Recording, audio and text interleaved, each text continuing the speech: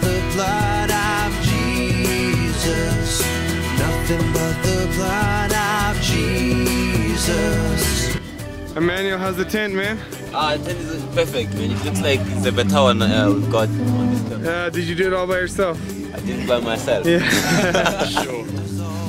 You see, I don't buy tents. I just, I just make them. Give me the grand tour.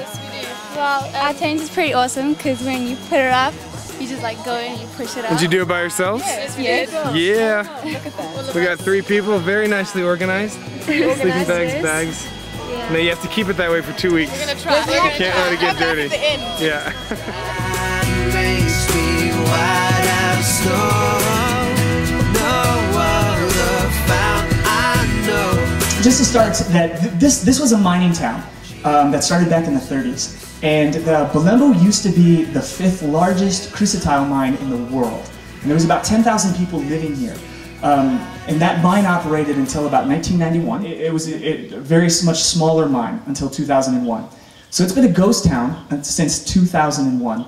So when our ministry started in 2006, just three years ago, we're actually quite a, a young ministry. Uh, there was there was just only a few hundred people living here.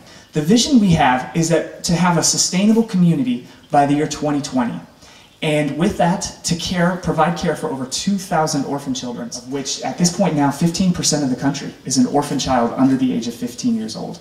So for us, we want to provide a total orphan care from education and health for over 2,000 orphans, as I mentioned.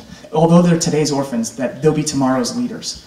Regardless, no matter what, they're, they're going to fall into that position. So, my brother, what are we here to do? Well, uh, Mark, we're basically uh, to serve the community of Bulembu. Um, either working projects or ministry related, really uh, getting involved in the in the society of who the people of Bulembu are. Mark, I'm looking forward to the experience of seeing 220 students working hard, praying hard, you know, worshiping in the evening. It is it is just a splendid experience being part of this. Um, so that is what I'm looking forward to. This is all my hope and peace. Nothing but the blood of Jesus. This is all my righteousness.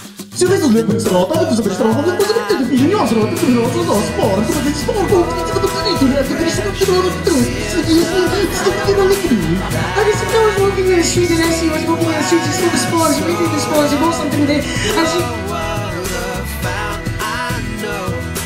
Nothing but the blood of Jesus.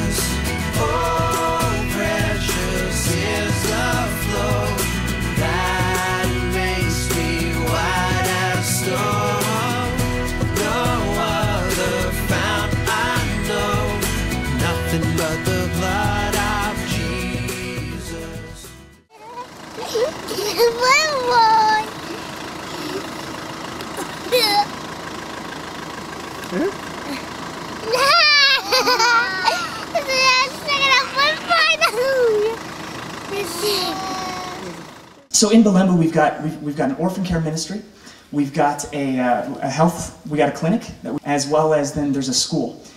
We've got in Bulembu at this point now. There's about five or six maybe uh, core businesses that we've started.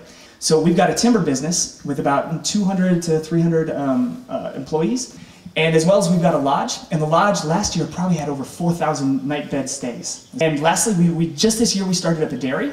It's doing 350 liters of milk a day.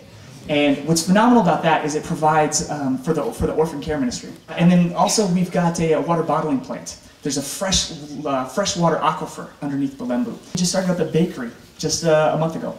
And so the profit from all these businesses go back into the uh, the community to allow for starting up other businesses as well as to provide uh, kind of the, to pay for the orphan care and education and the, the health services.